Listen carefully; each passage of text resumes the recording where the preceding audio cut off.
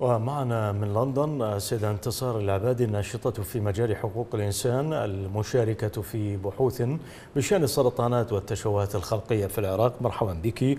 إذا موقع CounterPunch الأمريكي كشف عن تسبب الاحتلال الأمريكي بازدياد حالات الإصابة بمرض السرطان في العراق بنسبة 600% في وقت تحاول الجهات الحكومية في العراق يعني التقليل من هذه الأعداد.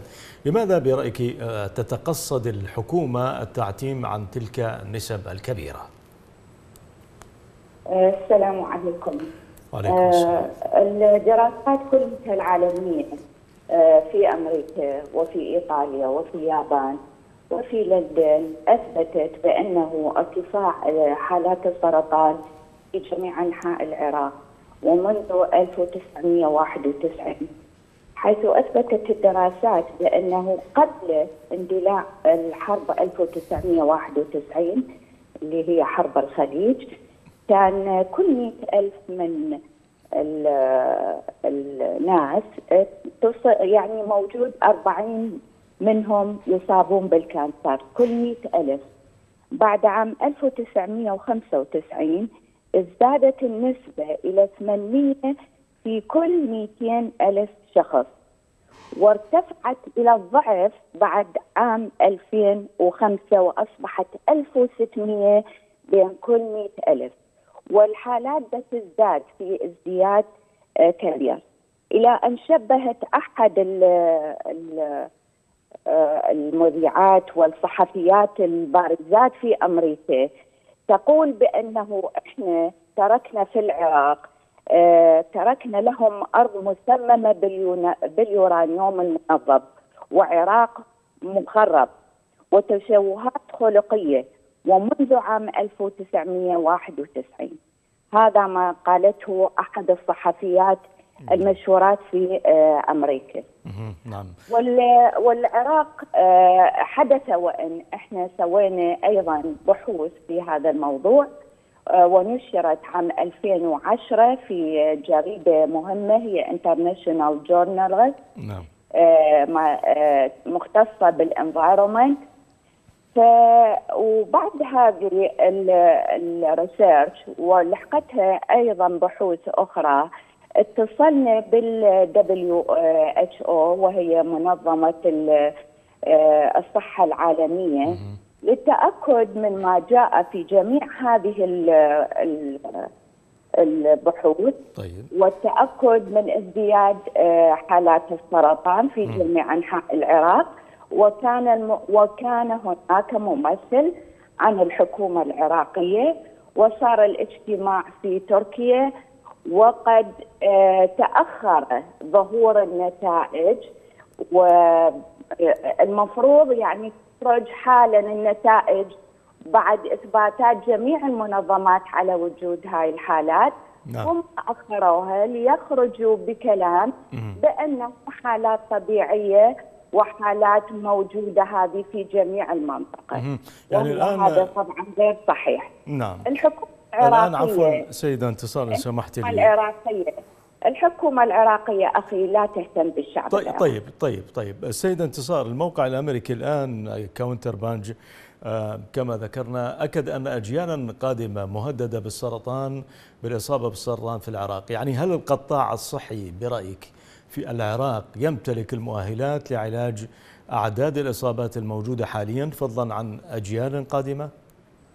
أبدا ابدا نعم. ليس هناك أي قواعد أساسية بنيت للتخلص والتقليل من الإصابات والتشوهات الخلقية.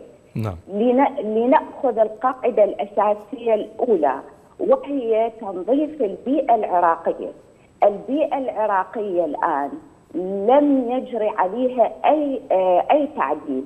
أنت تشوف الآن كل المنظومات اللي اللي تأخذ التصريف الصحي هي نظام فاسد وغير مؤهل في جميع أنحاء العراق من البصرة إلى إلى الفلوجه نعم. بالإضافة إلى بقاء بعض البقايا اللي هي أيضا هناك آه تقرير نشر حديثا عن البقايا الموجودة من الحرب 1991 اللي هي بقايا الحروب ال ال يعني ال الآلات والسيارات اللي استكملت خلال هاي الحرب التي ما زالت تملأ الصحراء. وهذه ما زالت بالذرات اليورانيوم اللي تنشرها آه، إلى جميع حتى إذا لم يلمس الشخص تنتشر عن طريق الهواء. فالحكومه هذا بالنسبة إلى البيئة. نعم. نرجع إلى الصحة، الحكومة العراقية إذا أنت تسأل أي شخص عراقي الآن موجود في داخل العراق أبسط أبسط الأمراض الشخص الآن يذهب إلى الصيدليات ليجلب الدواء أو حقنة نعم. الدواء حتى يتعالج به. الوضع السيء في, في الصحة. وأيضا نعم. البيئه الحكومة العراقية غير مهتمة بالشعب نعم. العراقي أخي. نعم. ال ال الآن سيد انتصار البحرية الأمريكية أكدت استخدام وزارة الدفاع الأمريكية أسلحة محرمة اختبرتها آه، لأول مرة على الشعب العراقي آه، في حرب الخليج الأولى في عام 91 و900 وألف ألا يعد هذا اعترافا يستوجب التحرك الدولي آه، وحتى قضائيا ضد أمريكا؟ هناك عدة تقارير تحت يدي وقاموا يعني حقوقيين هنا في بريطانيا وأيضا نشطاء كتبوا حتى إلى وزارة الدفاع البريطانية عن استخدام بعض الأسلحة، استخدمت جميع الأسلحة في العراق. واستعمل العراق ك آه، آه، شلون نقول بأنه ثأر حتى يطبقون عليه كل تجاربهم آه، اللي استخدموها بالحروب في بقايا نابليون اللي استعملوه في فيتنام أيضا استعملوه في العراق. نعم. بحوثنا أثبتت بأنه آه، نوع جديد من الأسلحة يسموه enriched uranium اللي هو وجدناه في بقايا الشعر آه، آه، موجود استخلصنا المادة وكانت مادة غريبة. لما أرسلناها إلى ألمانيا أثبتت بأنه هذا مو depleted uranium وإن يعني مو المنضب وإنما اليورانيوم نفسه. بس هم دائما إذا تسأل المسؤولين هم آه، يعني آه، يقللون من شأن هذه ويقولون هاي أسلحة غير مضرة وغير مجدية وما تأثر على الصحة العالمية.